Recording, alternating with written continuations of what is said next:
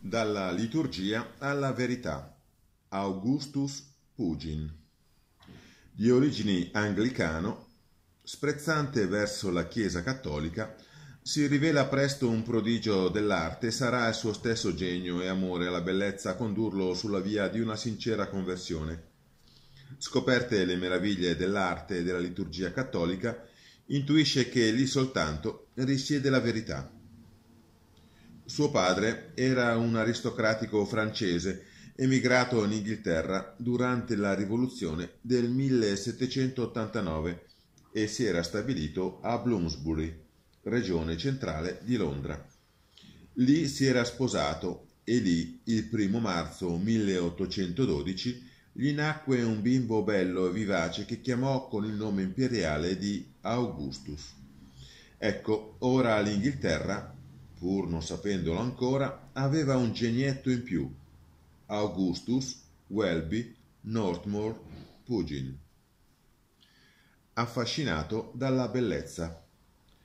Fu educato come anglicano e protestante in senso stretto, Presto la sua formazione fu segnata da una serie di pregiudizi contro la Chiesa cattolica, vista come autoritaria e oscurantista e cordialmente disprezzata. Ma fin da ragazzo rivelò una passione per cui Dio sarebbe passato nella sua anima, in fondo retta e desiderosa di verità.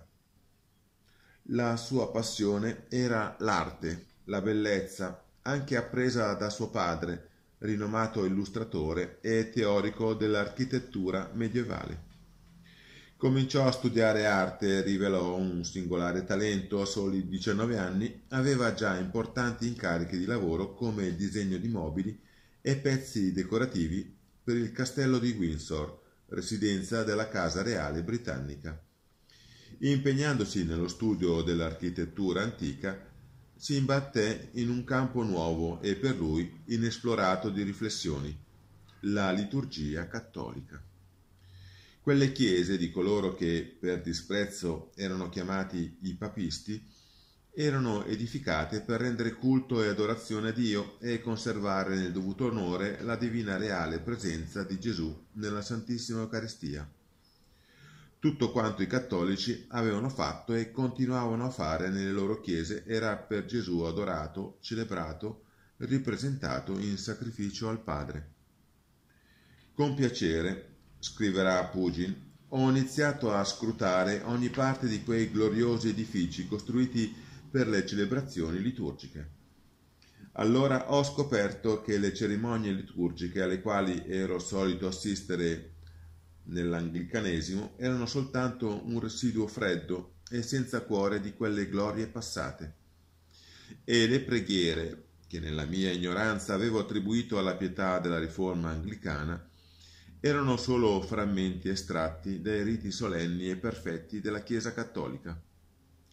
In opposizione a tutto ciò, ho osservato la Chiesa cattolica che esiste con la successione apostolica ininterrotta che trasmette da sempre la stessa fede, gli stessi sacramenti e le cerimonie immutabili, inalterate in tutti i climi, lingue e nazioni.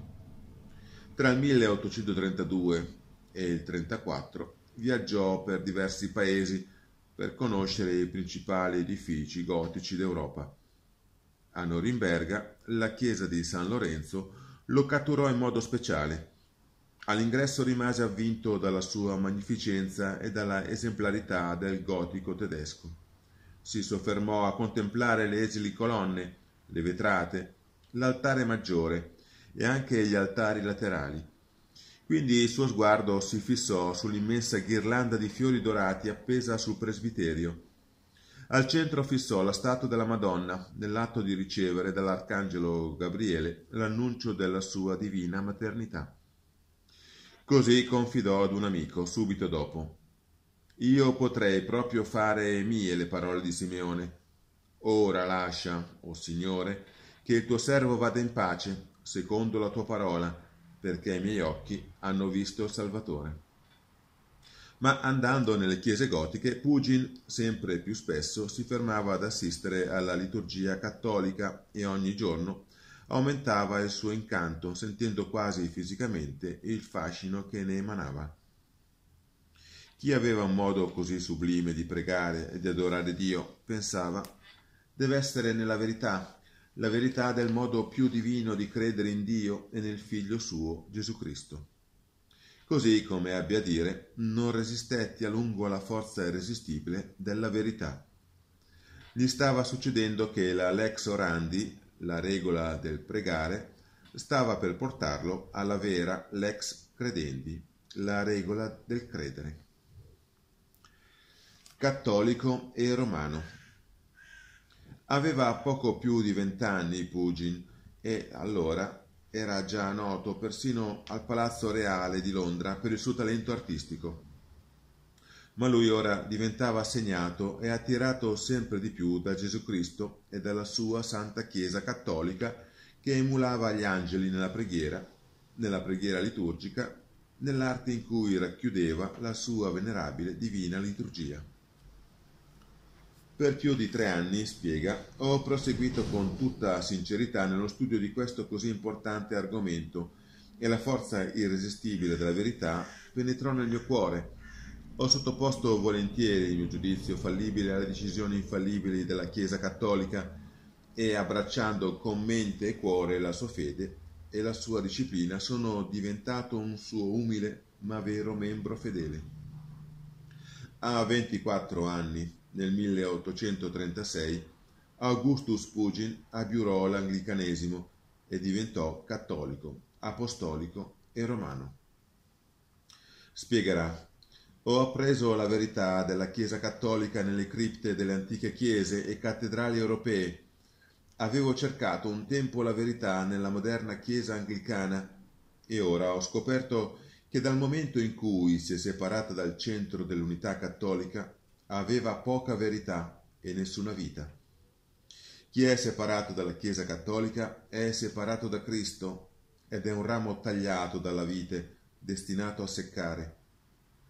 In questo modo, e senza aver conosciuto un solo sacerdote, aiutato solo dalla grazia di Dio e dalla bellezza sovrumana dell'arte della liturgia cattolica, ho deciso di entrare nella sua unica vera Chiesa. Da quel momento Pugin consacra la sua arte al servizio della Chiesa, perché ormai non c'era più per lui alcuna distinzione tra la sua fede e la sua arte il suo talento artistico apparve ancora superiore, quasi un prodigio, nelle cattedrali cattoliche di Birmingham, Inghilterra, e Enniscorthy, Irlanda, in chiese come quella di St. Gilles a Cheadle, Inghilterra, ma anche nella progettazione di altari e arredi sacri. Il suo biografo, Ferry, scrive che di questo architetto si può dire come Davide profetizzò di Gesù. Lo zelo per la tua casa mi divora. Tanto era animato dal desiderio di rivestire di bellezza e di splendore la casa di Dio, allo stesso modo egli desiderava con ardore che la Santa Messa e tutte le celebrazioni della Chiesa fossero realizzate a pompa e fulgore, perché per Dio e il Figlio suo Gesù Cristo, il Re dei Re e il Dominatore dei Dominanti, Nulla deve essere sciatto, ma tutto deve proclamare la sua grandezza e la sua regalità. Per questo dona ricchi paramenti di porpora e oro per la messa di inaugurazione della chiesa di Santa Maria ad Erbi e scrive libri su liturgia e architettura, diventando uno dei più influenti esperti dell'architettura inglese del XIX secolo. A 25 anni, nel 1837, era già nominato professore di storia della Chiesa a Scott.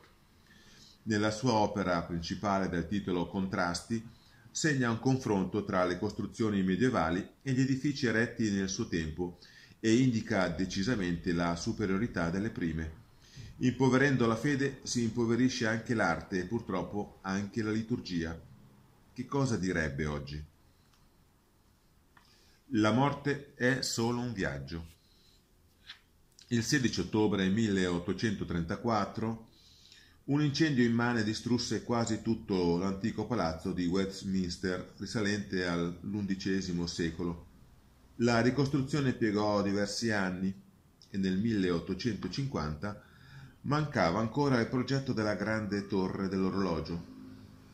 Augustus Pugin, ora soli 38 anni, si trovava gravemente infermo, ma Sir Charles Barry decise ugualmente di affidargli il disegno di quest'opera.